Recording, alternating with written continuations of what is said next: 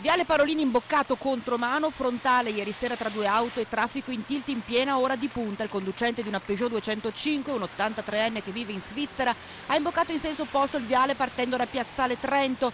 Giunto all'altezza della biforcazione davanti al liceo Brocchi è entrato in collisione con una seconda vettura, una Seat Ibiza guidata da una donna di 59 anni residente a Fonte che proveniva da Viale 11 febbraio che non è riuscita a evitare l'impatto. Fortunatamente le persone al volante sono rimaste illese, forti disagi si diceva alla circolazione è rimasta praticamente bloccata per più di un'ora in attesa che gli agenti della polizia locale di Bassano eseguissero tutti i rilievi e i mezzi venissero rimossi.